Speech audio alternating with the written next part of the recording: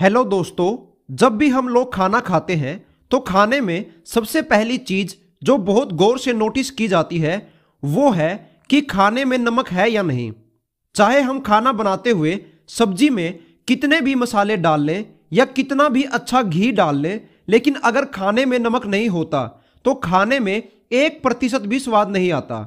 लेकिन किसी को नहीं पता होता कि हमारे खाने का स्वाद बढ़ाने वाला या हमारे खाने की चीज़ों में डलने वाला नमक फैक्ट्रियों में कैसे बनाया जाता है? या फैक्ट्री वाले पानी से नमक कैसे बनाते हैं?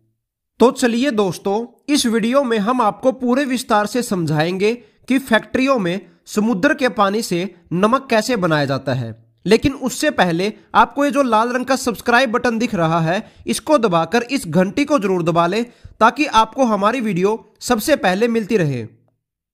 नमक को बनाने की प्रक्रिया शुरू होती है समुद्र के पानी से, क्योंकि समुद्र का पानी खारा होता है और उसमें साल्ट यानी नमक की मात्रा काफ़ी ज़्यादा होती है।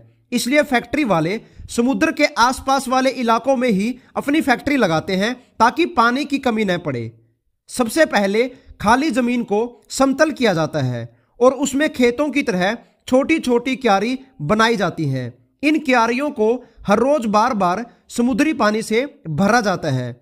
जब तक ज़मीन पक जाती है और खारे पानी की वजह से पानी सोखना बंद कर देती है।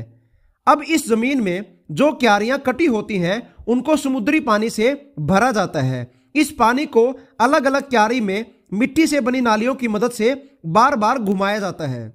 मतलब पानी को कभी इस क्यारी में तो कभी उस क्यारी में ऐसे भेजा जाता है। अलग अलग क्यारियों में घूमने की वजह से हल्का पानी, धूप और हवा के कारण भाप बनकर उड़ जाता है।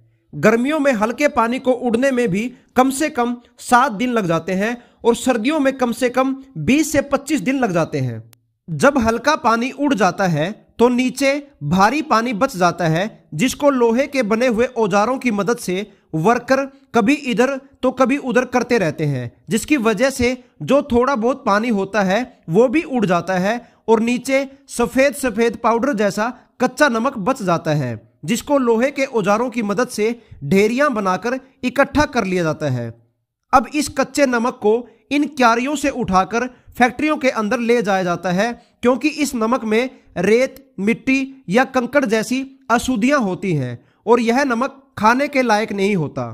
अब इस कच्चे नमक को फैक्ट्रियों के अंदर अच्छे से मशीनों में घुमाकर और पतली पतली बारीक जालियों से छानकर और वाइब्रेटर मशीनों से छानकर इसमें से मिट्टी और कंकड़ को अलग कर लिया जाता है। फिर इसमें आयोडीन मिलाया जाता है और कुछ ऐसे केमिकल भी मिलाए जाते हैं जो नमक के कणों को अलग अलग रखते हैं, यानी नमक को जमने नहीं देते, यानी उसके गुच्छे नहीं बनने देते।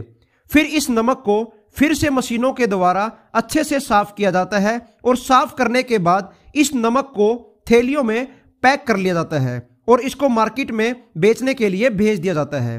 तो दोस्तों, अब आप समझ गए होंगे कि समुद्र के पानी से फैक्ट्री वाले नमक कैसे बनाते हैं। अगर आप लोगों को हमारी यह वीडियो पसंद आई हो तो इस वीडियो को ज़्यादा से ज़्यादा शेयर ज़रूर करें। धन्यवाद।